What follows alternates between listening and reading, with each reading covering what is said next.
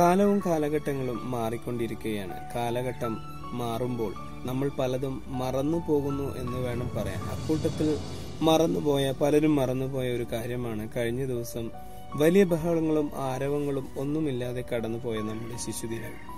കുട്ടികൾക്ക് ഇതിനെക്കുറിച്ച് പറഞ്ഞു കൊടുക്കാനോ എന്താണെന്ന് പറഞ്ഞു കൊടുക്കാൻ മുതിർന്നവരുമില്ല ടീച്ചർമാരുമില്ല എന്ന് വേണം പറയാൻ. സ്കൂളുകളിലെല്ലാം ആഘോഷങ്ങൾ കുറഞ്ഞപ്പോൾ മുതിർന്നവർ പോലും അതിനെക്കുറിച്ച് പറഞ്ഞു കൊടുത്തില്ല എന്ന് വേണം പറയാൻ. അല്ലേ? സത്യമല്ലേ? അതല്ലേ കാര്യം? ആർക്കും ഓർമ്മയുണ്ടായിരുന്നില്ല. നവംബർ പതിനാല് എന്ന് പറയുന്ന ശിശുദിനം.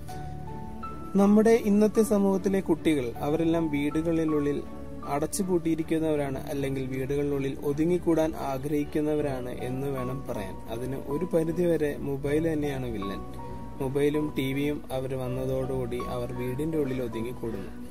പറമ്പുകളിലും തൊടികളിലുമെല്ലാം ഓടിച്ചാടി നടന്നിരുന്ന ഒരുപറ്റം കുട്ടികൾ നമ്മുടെ സമൂഹത്തിൽ ഉണ്ടായിരുന്നു പക്ഷെ ഇന്ന് കുട്ടികൾക്ക് ഏറ്റവും ഇഷ്ടം മൊബൈൽ തന്നെയാണ്.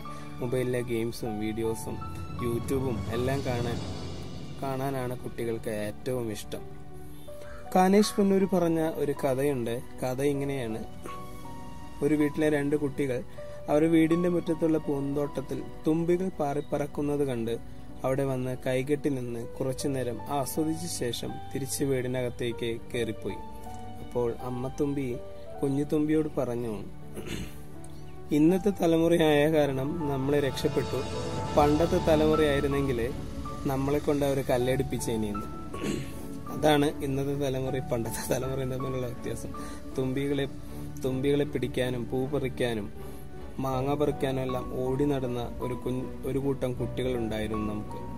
അവരെല്ലാം നഷ്ടപ്പെട്ടുകൊണ്ടിരിക്കുകയാണ് നമുക്ക് എന്ന് വേണം പറയാൻ. നല്ലൊരു തലമുറയെ വാർ- വാർത്തെടുക്കേണ്ടവരാണ് ഇന്നത്തെ നമ്മുടെ കുട്ടികൾ. അവരെ വീടുകളുടെ ഉള്ളിൽ അടച്ചുപൂട്ടാതിരിക്കുക പ്രകൃതിയുമായി ഇണങ്ങി ജീവിക്കാൻ അവരെ പഠിപ്പിക്കുക. അതാണ് എനിക്ക് പറയാനുള്ളത്. അപ്പോൾ ഓക്കെ നമസ്കാരം. വീണ്ടും കാണാം. യൂട്യൂബിന്റെ ലിങ്ക് താഴെ കൊടുക്കുന്നുണ്ട്. വാട്സപ്പ് നമ്പർ ഉണ്ട് ആർക്ക് വേണമെങ്കിലും കോൺടാക്ട് ചെയ്യാം. തെറി വിളിക്കരുത്. ഓക്കെ? അപ്പോൾ എല്ലാവർക്കും ഒരു ശുഭദിനം നേരുന്നു. ബൈ.